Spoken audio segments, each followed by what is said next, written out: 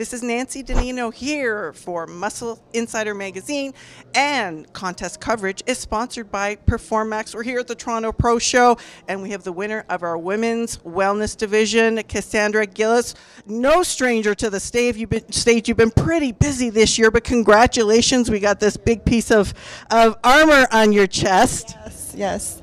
Well, you have already qualified from the for the Olympia from last year's Toronto Pro Show. This year, you took two second place at the New York and Pittsburgh, just behind Sunny, and now you're Olympia bound. I'm sure you need a break, but tell us about kind of what you've been doing to improve your physique over the last few months.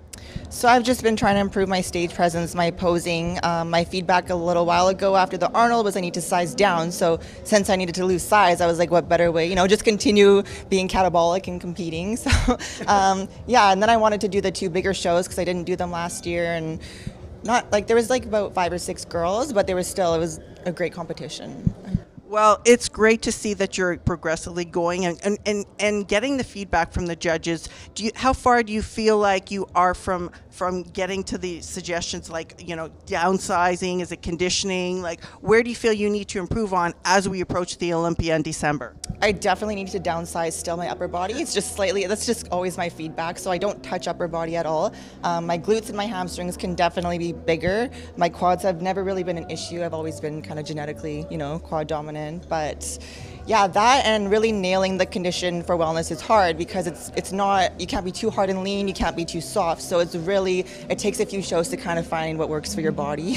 And you're the type of person that is literally, like you said, you need to, you know, get a little bit larger in the glutes, build that up, but you can't touch your upper body. So it's it's kind of finding that balance. Mm-hmm. Yeah, it's definitely tough. Like I use a lot of machines, and I just have my hands like not even touching the machines. That's not. People would love to have that problem. I think, wouldn't they?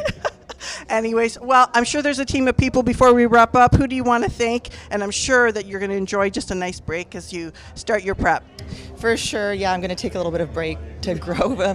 thank you to my or my coach Chris, uh, my husband Damien for all the support, my posing coach Ashley, uh, my supplement team, my girls uh, Melly, and yeah, all, all of them who came here to support me. Thank you, thank you so much. Well, thank you very much. Enjoy, and we'll see you on your road to the Olympia. This is Nancy Di Nino signing off.